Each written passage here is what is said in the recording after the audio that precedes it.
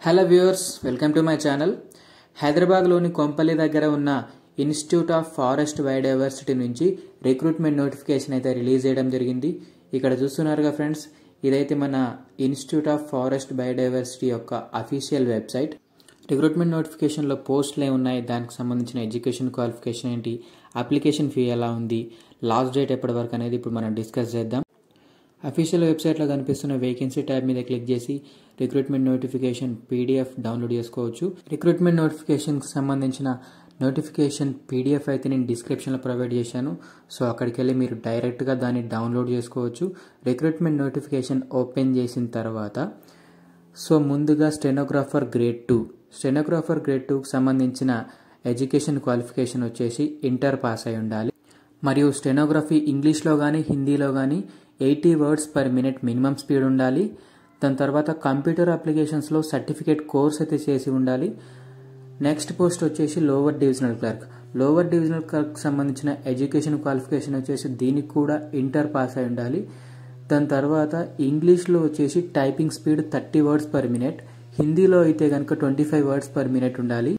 Next post multi tasking staff విషయానికి వస్తే కనుక ఎడ్యుకేషన్ క్వాలిఫికేషన్ ఎస్ఎస్సి పాస్ అయి ఉండాలి. ఒకవేళ ఎవరికైనా త్రీ ఇయర్స్ వర్క్ ఎక్స్పీరియన్స్ ఉంటే కనుక వాళ్ళకి ప్రిఫరెన్స్ ఇస్తారు. వర్క్ ఎక్స్పీరియన్స్ లేకపోయినా పర్వాలేదు. ఉంటే మంచిది అంటున్నారు ఇక్కడ. ఏజ్ లిమిట్ వచ్చేసి పద్దెనిమిది సంవత్సరాల నుంచి ఇరవై ఏడు సంవత్సరాల మధ్యలో ఉన్నవారు దీనికి అప్లై చేసుకోవచ్చు. ఎస్సీ ఎస్టీ వాళ్ళకి ఫైవ్ ఇయర్స్ ఏజ్ రిలాక్సేషన్ మరియు ఓబీసీ వాళ్ళకైతే త్రీ ఇయర్స్ ఏజ్ రిలాక్సేషన్ అయితే ఉంది.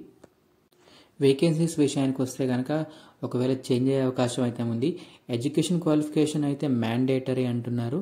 దాని తర్వాత అప్లికేషన్ ఫీ వచ్చేసి three hundred rupees demand draft DD any nationalised బ్యాంక్లో మీరు director Institute of Forest Biodiversity మీద డీడీ అయితే తీయాలి ఖచ్చితంగా.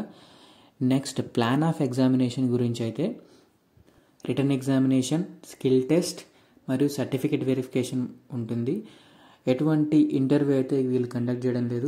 వేరియస్ పోస్టులకు సంబంధించిన ఎగ్జామినేషన్ ప్యాటర్న్ వచ్చేసి స్టెనోగ్రాఫర్ గ్రేడ్ టూకి టూ హండ్రెడ్ మార్క్స్ ఇంకా లోవర్ డివిజనల్ క్లర్క్ మరియు మల్టీ టాస్కింగ్ స్టాఫ్ పోస్టులకి హండ్రెడ్ మార్క్స్కి వీళ్ళు ఎగ్జామ్ అయితే కండక్ట్ చేయడం జరుగుతుంది. ఎగ్జామినేషన్కి సంబంధించిన డేట్ అయితే వీళ్ళు అఫీషియల్ వెబ్సైట్ ద్వారా ప్రొవైడ్ చేస్తామంటున్నారు. సెలక్షన్ ప్రొసీజర్ విషయానికి వస్తే రిటర్న్ ఎగ్జామినేషన్లో వచ్చిన మార్కులని ఆధారంగా చేసుకొని స్కిల్ టెస్ట్ లేదా ప్రొఫిషియన్సీ టెస్ట్కి వన్ ఈస్ట్ ఫైవ్ రేషియోలో వీళ్ళు పిలవడం జరుగుతుంది. స్కిల్ టెస్ట్లో కూడా క్వాలిఫై అయితే కనుక డాక్యుమెంట్ వెరిఫికేషన్కి వీళ్ళు పిలవడం జరుగుతుంది. ఎటువంటి ఇంటర్వ్యూ అయితే కండక్ట్ చేయడం లేదు. దాని తర్వాత ప్లేస్ ఆఫ్ పోస్టింగ్ విషయానికి వస్తే కనుక హైదరాబాద్లో కానీ విశాఖపట్నంలో కానీ లేదా ఆల్ ఓవర్ ఇండియాలో ఎక్కడైతే వీళ్ళ ఇన్స్టిట్యూట్స్ ఉన్నాయో అక్కడ వీళ్ళు పోస్టింగ్ అయితే ఇవ్వడం జరుగుతుంది. సో దీనికి సంబంధించిన సిలబస్ అంటే stenographer grade two lower divisional clerk multi tasking స్టాఫ్కి సంబంధించిన సిలబస్ గురించి అయితే మనం డిస్కస్ చేద్దాం. వీటికి సపరేట్ సపరేట్గా సిలబస్ అయితే వీళ్ళు ఇవ్వడం జరిగింది.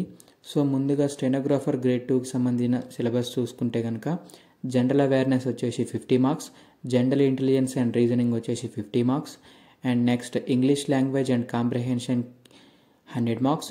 టోటల్గా వచ్చేసి టూ హండ్రెడ్ మార్క్స్ ఉంటాయి. టైం డ్యూరేషన్ వచ్చేసి వన్ ట్వంటీ మినిట్స్ అంటే టూ అవర్స్ ఉండడం జరుగుతుంది.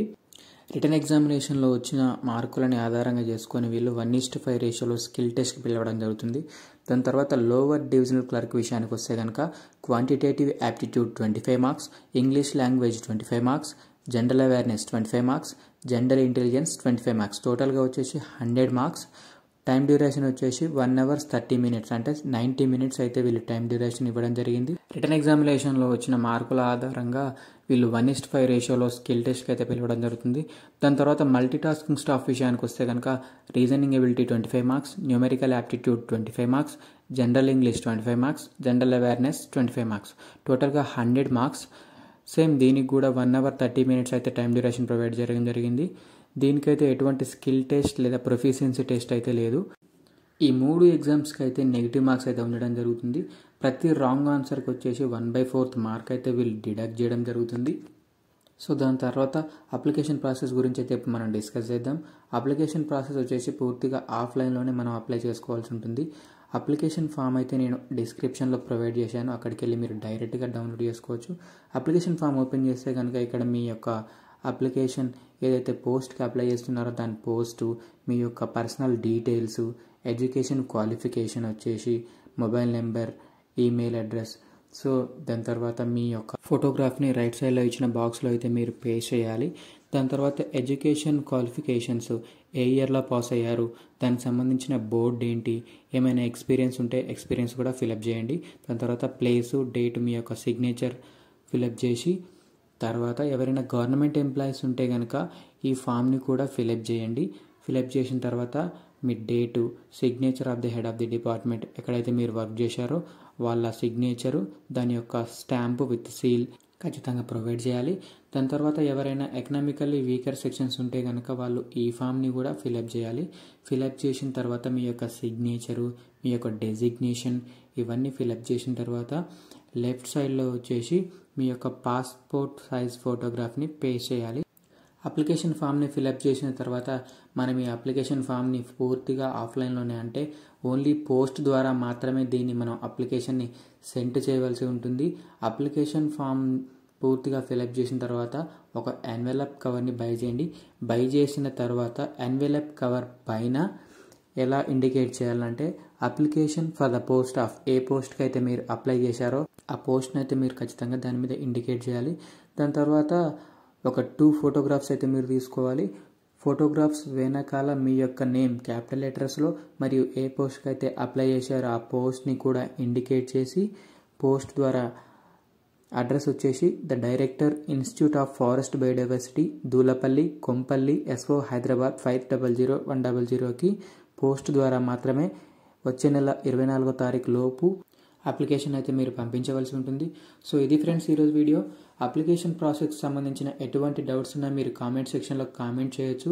ఈ వీడియోని అయితే మీరు మీ ఫ్రెండ్స్ అండ్ ఫ్యామిలీకి ఖచ్చితంగా షేర్ చేయండి. నా వీడియో నచ్చితే లైక్ చేయండి షేర్ చేయండి కామెంట్ చేయండి. కానీ సబ్స్క్రైబ్ చేయడం మాత్రం మర్చిపోకండి sir. Thank you friends. Thank you for watching.